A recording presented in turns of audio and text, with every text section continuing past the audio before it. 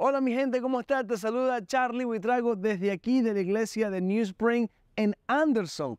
Eso es correcto, Anderson, porque aquí va a ser la sede de la noche favorita de todo el mundo, noche de alabanza. Dios de mi ciudad va a ser esta vez aquí en Anderson el 11 de octubre.